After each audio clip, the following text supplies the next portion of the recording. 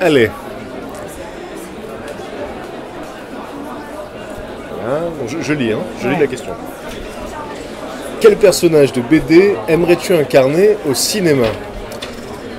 Euh, Alors, laisse-moi réfléchir. Quel personnage de BD Euh, J'ai pas un personnage en particulier qui me vient à l'esprit, mais par contre, il y a au moins une BD que j'adorerais voir adaptée au cinéma. C'est euh, Black Hole, euh, qui est une de mes BD cultes. Euh, Charles Burns, c'est vraiment un des dessinateurs qui me fascine le plus. Et je rêverais de voir au moins ce film adapté au cinéma, peut-être par, par, un David Lynch par exemple, ce serait juste parfait. Voilà, après, pour, euh, pour ce qui est d'incarner un personnage là comme ça, je ne sais pas particulièrement. En tout cas, cette BD, vraiment, j'aimerais beaucoup la voir euh, adaptée.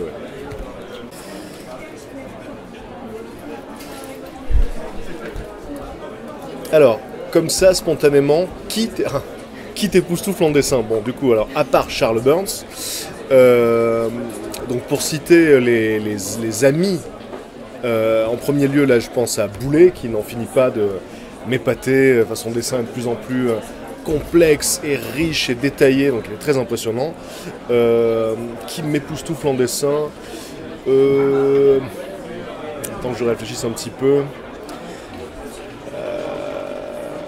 Alors, Yo- Johan Sacré qui a collaboré euh, à Axolot 2 fait des dessins absolument superbes. Là, le problème, c'est que forcément, j'ai oublié des tas de gens, mais bon, euh, tant pis. Euh, Donc, Johan Sacré, euh, un, plume vraiment magnifique. Euh, Alice au Pays des Merveilles, tout ça. Tu vois qui je veux dire Benjamin Lacombe. Voilà.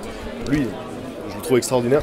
Et euh, enfin, son dessin me, rap- me rappelle ce que fait euh, le peintre. ah, zut. Tu vois qui je veux dire ou pas?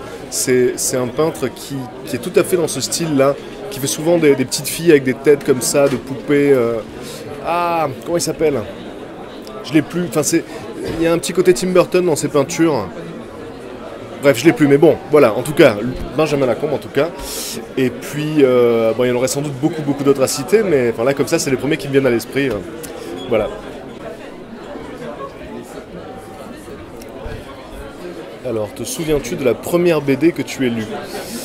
Euh, La toute première, peut-être pas, mais je peux citer en tout cas les premières euh, que je lisais. Donc, bah, comme beaucoup, beaucoup de gens, je pense que voilà, il y a eu les Schtroumpfs, voilà, les Schtroumpfs, euh, les, les Astérix, les Tintins. euh, euh, je lisais pas mal de Boule et Bill aussi quand j'étais petit. Les Lucky Luke, enfin, tous les classiques. hein. Il n'y a pas vraiment d'originalité dans cette réponse, c'est vra- vraiment les classiques. Voilà, mais je pense la première c'était ouais, sans doute quelque chose de, de- de ce type-là, les Schtroumpfs ou quoi. Voilà, ouais.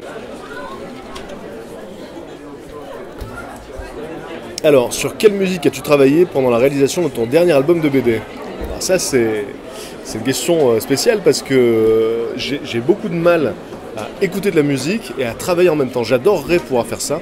J'adorerais pouvoir travailler en musique, mais dès que je mets de la musique, j'ai du mal à me concentrer sur ce que je fais et euh, je suis attiré par la musique. Donc en fait, il faudrait que j'écoute des trucs qui me plaisent pas, quoi, pour pouvoir les laisser en toile de fond.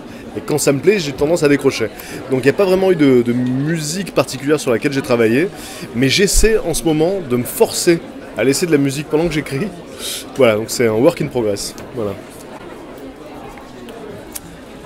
Alors, si Barnum t'avait embauché, quel fric aurais-tu aimé être? Alors, il y a un fric qui est euh, extraordinaire, qu'on peut voir d'ailleurs dans le film Freaks de Todd Browning. Euh, alors, j'ai plus, son nom en tête, mais c'était euh, cet homme qui n'avait ni bras ni jambes, qu'on voit dans le film, et qui était capable de faire des tas de trucs incroyables, donc qui pouvait se rouler des cigarettes, donc uniquement avec la bouche du coup, rouler des cigarettes, fumer des cigarettes, il lançait des couteaux avec la bouche, et on le voit dans le film Freaks, et lui était vraiment vraiment incroyable. Euh, sinon, euh, récemment, j'ai lu l'histoire de la, vraie femme à barbe euh, dans les nouvelles chroniques que fait Pénélope Bagieux sur Le Monde, je crois, c'est un blog qu'elle fait, je crois, il me semble que c'est sur Le Monde, où elle parlait de la vraie femme à barbe, qui était une, une femme complexée au départ de sa pilosité, qui se rasait et tout ça, et qui a fini par accepter sa particularité et qui s'est laissé pousser sa barbe. Et en fait, c'est sa particularité qui a déterminé ce qu'elle a été dans la vie. Donc elle est devenue célèbre parce qu'elle a fini par s'assumer. Quoi. Donc je trouve que c'était une euh, belle histoire, un beau, beau message. Quoi. Voilà. bah, merci à toi.